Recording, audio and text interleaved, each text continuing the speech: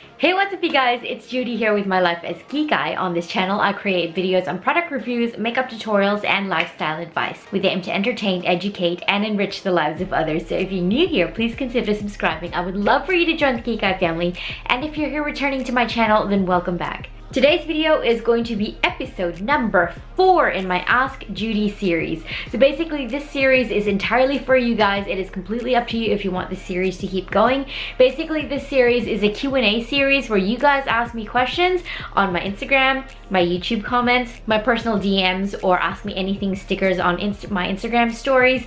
Basically any questions that you guys ask me, I answer it in this series right here. So this series is for you guys. If you have any questions or thoughts or video requests, requests in your mind right now or at any point throughout this video, feel free to leave them in the comments down below. I will definitely get back to you in either the comments or in episode number five. The aim of my channel is to entertain, educate, or enrich your life. So if in any way I can help you with that, then definitely let me know. I will now be answering questions that you guys left for me on my Instagram stories. So if you want to see if your question got answered in this series of Ask Judie episode number four, then just keep on watching. Before I go any further, if you guys do enjoy my videos, then please be sure to give this one a thumbs thumbs up sorry about the band-aid. And subscribe before you leave if you haven't already. I do put new videos out every monday wednesday and friday so you can turn on the notification bell if you don't want to miss any of my future uploads. You can also follow me on my social media facebook instagram and twitter. All of them are life is Kikay. And you can also private message me your questions on these social media platforms as well. Without further ado let's just get straight into this video. It is currently 1:26 a.m in the morning but i just live streamed and did this makeup look on my live stream. It came out so nice nice. I'm so pleased with how this look turned out that I thought why not film a video with this makeup look on because it is bomb. I'm really loving how it's looking and even if it's 1.30 a.m. in the morning I thought it would be a waste of a look if I just live streamed and then took it off. So yeah. so hence I'm filming at 1.30 in the morning. So on Instagram, Dre Oxford asks me, what is your career ambition? Basically, my career ambition ultimately is to be able to do YouTube as a full-time job. I've been working full-time in hospitality for the last 10 years and honestly, I'm very, very good at it. I have a lot of experience and I know exactly what I'm doing when it comes to hospitality, customer service, retail, ordering, stock rotation, management, all of that sort of thing. And I really enjoy it. I really, truly do enjoy my job. But when it comes to a career ambition in the absolute long run, I don't think I can see myself doing hospitality for another 20 to 30 years. Honestly, my body will get tired and old eventually. So ultimately, what I would really love to do is be able to do YouTube as a full-time job that will support me and hopefully ultimately support a family that I hope to have in the future. So yeah, that is my career ambition. I would love to be able to make YouTube something that I can do as a full-time job. Liz asks me on Instagram, how can you still save when you buy a lot of makeup? Honestly, it is a lot of skimping and very strategic planning on the way I spend my money. I do shop the sales and I don't buy a lot of high-end makeup. That really, really helps. I have a lot of makeup, but majority of it is either affordable makeup like Morphe, ColourPop, Juvia's Place, or drugstore makeup. So while I do have a lot of makeup, not all of it is extremely high-end expensive makeup. Probably the only expensive high-end things that I do have are my skincare items. I really honestly can't justify spending $200 for a blush or an eyeliner or a makeup brush. I do enjoy my affordable and drugstore items. I'm always all about the bang for your buck sort of thing, so I'm always on the lookout for really good affordable drugstore items that are really good and perform like a high-end item would. Does that make sense? I do still save money because I budget and I'm I try to be really smart about how I spend my money. I shop the sales, I don't buy extremely expensive makeup. But honestly now I'm coming to a time in my life where I really need to tighten up and not spend as much money as I used to on makeup and skincare. So I'm gonna have to get really creative with my video ideas because I'm coming into a situation where I won't be able to constantly buy new trending releases in the makeup industry. So um, yeah, I'm just gonna have to really tighten my belt and commit to this no buy. So while I do have a lot of makeup, I try and be really smart about how I spend my money. Is your skin sensitive if you change a skincare product? Well, yes, actually, I think that might be the reason why I have this little friend right here and this little friend right up on here on my forehead and a few other little lumps and bumps all over my face. These things have decided to move in and they ain't paying rent so they gotta go. So while I think stress is contributing a lot to the breakouts that I have on my face, I have been trying out some different skincare recently because when I did my morning and evening skincare routine videos, I realized that a lot of the products that I was sharing are extremely high-end or extremely expensive products and while they do work for me, ultimately those skincare routines are not going to be financially sustainable for me. So I've been trying to discover some drugstore affordable skincare and I think that might be why my skin is kind of acting up and not being as good as it normally is because I've been trying new different things. So yes, my skin has been kind of not behaving the way I would like it to behave. I think a lot of it pertains to the fact that I have been trying a few different skincare products. So yeah. When is the last time you visited the Philippines? Any travel plans this year? The last time I visited the Philippines, I was 16 years old, so that was just over 10 years ago now. I do not have any travel plans this year. I have a bit of exciting news coming up. So while it doesn't involve traveling, it is quite exciting for me, but also in a way that will restrict me from being able to travel in the very near future. So no, I don't have any travel plans this year or anytime in the immediate future. I would love to though. I would absolutely love to visit the Philippines. I'd love to visit Europe or Cuba for the salsa dancing culture. Um, I would love to visit so many different places, but alas, I cannot afford any of these places right now, so I will just content myself and be happy with the simple joys in life that I have right here, right now. And besides here in Australia, you really don't have to travel very far or even go overseas to visit some new and different places. So I'm just going to have to do what I can and while I'm trying to save money, I still need to enjoy life and live life to the fullest that I possibly can. Do you feel like sometimes you don't want to film and what do you do? Well, yes, absolutely. I have days where I just do not want to film I can't speak, I don't want to talk.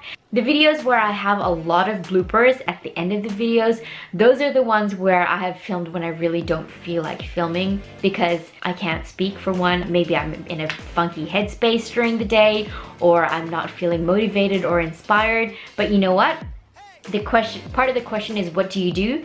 I still go ahead and do it because I'm serious about this YouTube thing. I need to make it happen. No one else is gonna make that happen for me except for me. So if I want this YouTube thing to happen, I need to go ahead and do it. I need to pull my head out of the sand. I need to get myself going and make it happen for me because nothing good happens from not working hard. So basically that's what I remind myself to motivate myself to keep filming for YouTube and putting out content for you guys because not only is my goal of being able to do YouTube as a full-time job something that spurs me along all the time, but it's really you guys who motivate, encourage, and inspire me to keep on creating videos as well because you are so kind, you're so sweet, so supportive, and the comments that I get on my videos are so encouraging that when I think about those comments are the support and the really encouraging words that you guys extend to me, it just motivates me to keep filming videos and I just try and remind myself why I'm doing it. Where do you get your motivation in life? Well, this sort of ties in very closely with the last question and how I answered it. What really motivates me to keep on going with my hard work, my real life job, my YouTube channel, batch filming and uploading videos three times a week and still going and doing my full-time job to the very best of my ability, not neglecting either area and just trying to do it to the best of my ability. What motivates me to do that is I have a goal. So I have goals in life that I try and set and take steps towards each one of these goals. So basically my full-time job is my full-time job. That's what pays the bills, that's what keeps me fed, that's basically what keeps me alive.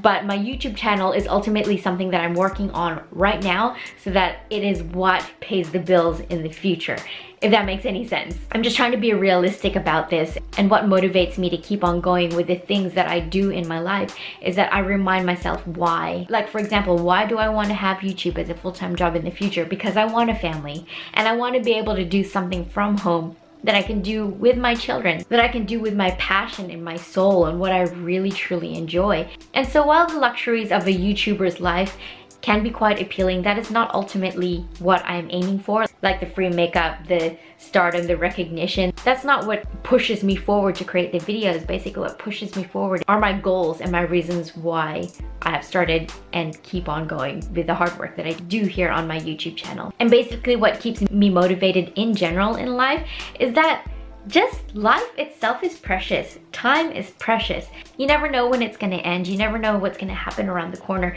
So make each and every second count. I don't think I could say that with even more conviction because so many things happen in life that remind you that each second is important. You gotta make each and every second count. Don't waste any time. Another question I got was from a subscriber named Noah on my YouTube channel. He asks me any advice on how to get a boyfriend. His question was specifically how to get a boyfriend. Well, honestly for me, I haven't had to try and get a boyfriend for years. I was actually just speaking to a workmate today on how to get back in the game.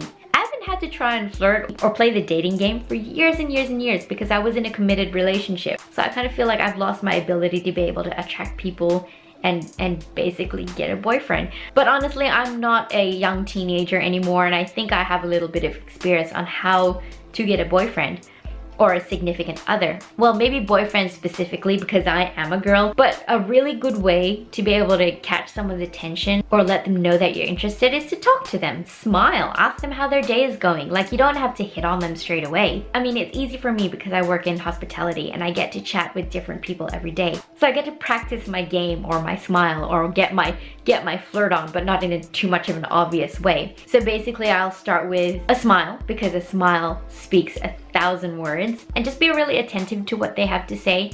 Ask them how their day is going. Be interested in what they have to say. Actually listen. Ask them questions about themselves. People like to talk about themselves, so ask them what they think about this. Give them a compliment on something they're wearing. Say, oh, maybe I like your tattoo, or I like your t-shirt, or you look nice today. You know, give people compliments. That's a really good way of telling people you're interested. If they're people that you see regularly in social circles or at work, or any of those instances, take every second to smile and ask them how their day is going. I know I'm saying it's really quite simple, but when it comes to me trying to do those things now in my life, it, it can actually be quite intimidating. So I think a lot of this is basically you being confident in yourself. Nothing attracts people more to you than you being confident in yourself. Know what makes you happy because positive people attract positive people. And same with happy people attract happy people. Know what you like, be happy in yourself, and you know, honestly, it'll attract people to you without you even trying. What is the best thing about being a YouTuber? Honestly, I think one of the best things is seeing the growth on my channel. And I'm not talking about numbers. I'm talking about the feedback that I receive from you guys. Honestly, that is probably one of the best things about being a YouTuber. I put so many hours and research and hard work and time into being able to put out this content for you guys and the feedback that I receive and being able to connect with you guys on this level like I'm literally filming episode number four in my Ask Judie series. And this series wouldn't even exist if it weren't for your guys' interaction. If it weren't for you guys asking me questions that you are interested to hear the answers to. I think that's one of the best things about becoming a YouTuber. Like when you first start, it's a bit of a grind. No one comments, no one's really interested in what you have to say. And yet here I am now on episode number four answering questions that you guys have asked me. So that's just a bit of an example on the growth that I'm talking about here on my YouTube channel. I get so many kind comments and responses and feedback on my videos and I think that is one of the best things about being a YouTuber. It's just so rewarding to be able to connect with you guys on this level. Kimberly asks me, why are you so lovely? Well, because you guys are lovely. What, you know, what goes around comes around. so yeah, I mean, that's basically all the questions I have for today's video. I know it's not a very long one, but I did think I had enough to film this one video. I don't want these videos to be very, very long anyway. I just wanted to make them short and snappy and sweet and just try and keep your guys' attention. If you're still watching up to now, thank you so much. If you enjoyed this video, please give it a thumbs up and subscribe before you leave if you haven't already. I do put new videos out every Monday, Wednesday, and Friday, so you can turn on the notification bell if you don't want to miss any of my future uploads. You can also follow me on my social media, Facebook, Instagram, and Twitter. All of them are Life is Kikay, and you can also reach me on private messages on any of those social media platforms as well. Again, thank you guys so much for watching. If you have any questions or thoughts or comments, then please feel free to leave them in the comment section down below. We can have a conversation.